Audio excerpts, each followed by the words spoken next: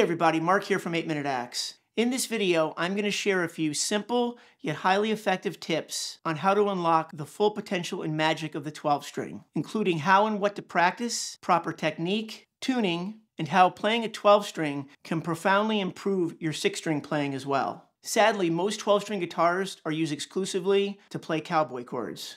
I think it's because too many players don't understand how to properly approach the instrument and don't recognize what it does best.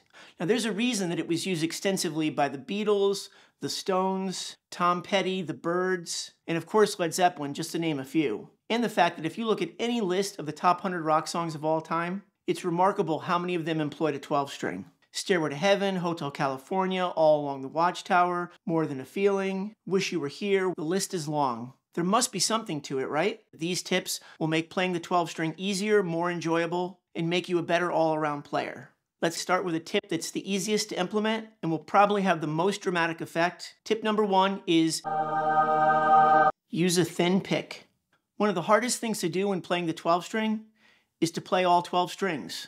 Getting an even strike on the string sets is crucial to bringing the 12 string to life. If you're constantly missing one of the strings when you pick or even when you strum, you might as well just play a six string. It's kind of what you're doing anyway. And if you're having this problem, the best and easiest way to fix it is to use a thin pick. The flexibility of a thin pick is ideal for following through, and I promise you'll immediately hear the difference.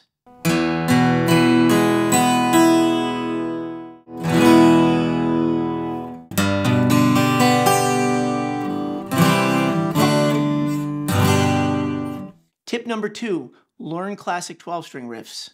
There are tons to choose from and many are easy to play. Here are a couple of my favorite classic 12 string riffs.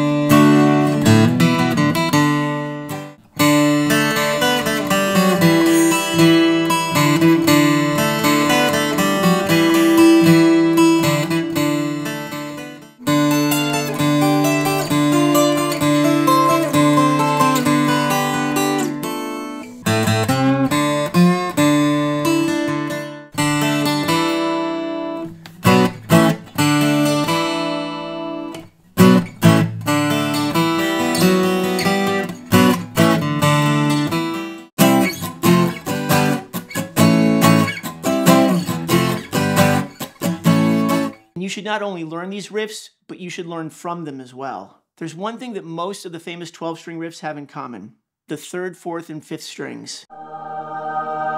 And that brings me to tip number three target the octave strings, especially three, four, and five. These are the money strings. Instead of strumming open chords, arpeggiate them.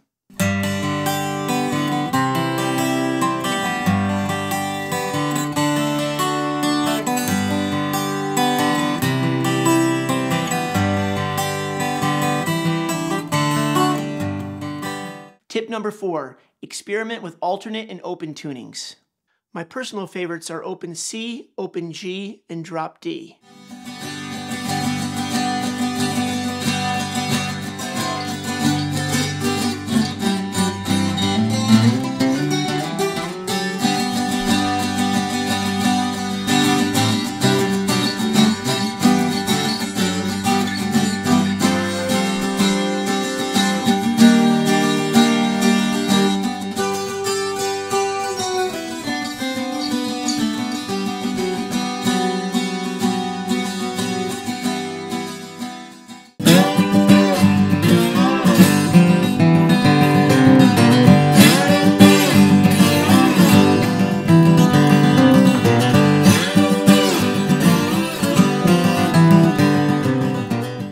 not that courageous, just tune the guitar down a half step. You'll be surprised at how much the character of the sound changes. Tuning down also alleviates neck tension, making the guitar easier to play and potentially extending its life. I have my other Taylor tuned down, and through the magic of video, see if we can do this.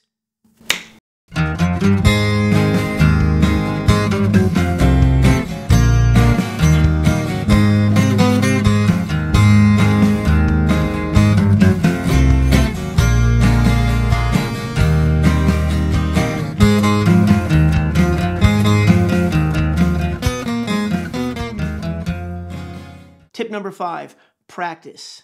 Now, this may seem obvious, but if you treat the 12 string like a unique instrument that demands learning certain skills, you're going to sound much better and get way more out of it than if you pick it up with the attitude that it's just like a six string. The 12 string requires stronger hands, more precise fretting, and more accurate and consistent picking. Most of us start off learning great technique until we've reached enough proficiency to be lazy. Just go back to basics. There shouldn't be any buzzing or choked out notes.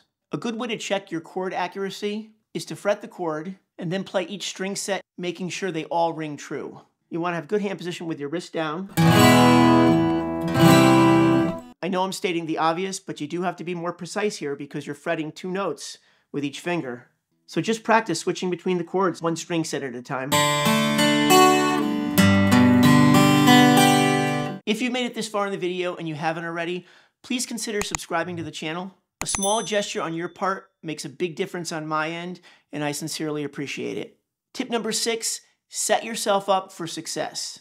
I mean this literally. Having your 12 strings set up properly is a must. This includes proper neck relief, action, and intonation. I recommend getting a professional for a 12 string setup. If hiring a pro isn't an option, make sure you educate yourself on what to do before jumping into it.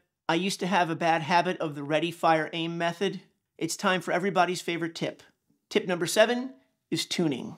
Tuning a 12 string can be accomplished quickly and painlessly if you have the right mindset and take the right approach. First and foremost, make sure you use a good tuner. If you're still using a pitch pipe, it's time to upgrade. So my go-to is the Peterson Strobo clip, but there are plenty of good tuners available at a reasonable price.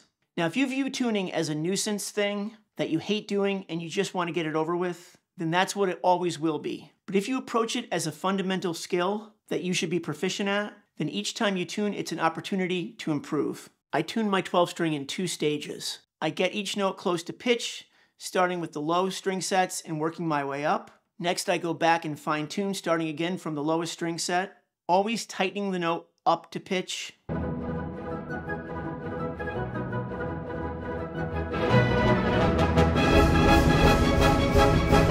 And now I'm going to fine tune it.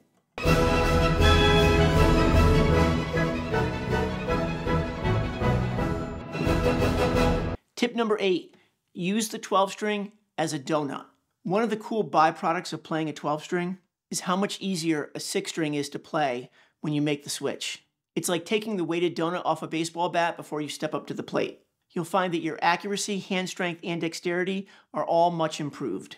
Sometimes when I pick up a six string after playing the 12 string for a couple hours, it feels like I'm cheating. If you enjoyed the video, please give it a like and leave me a comment. And if you have any tips to add, make sure you share them with the community. Don't forget to enter this month's Van Gogh 12 string guitar giveaway. Details on how to enter this month's contest are in the description. Most importantly, have a great day. I'll see you in the next video. The A camera died, so all I've got is this camera.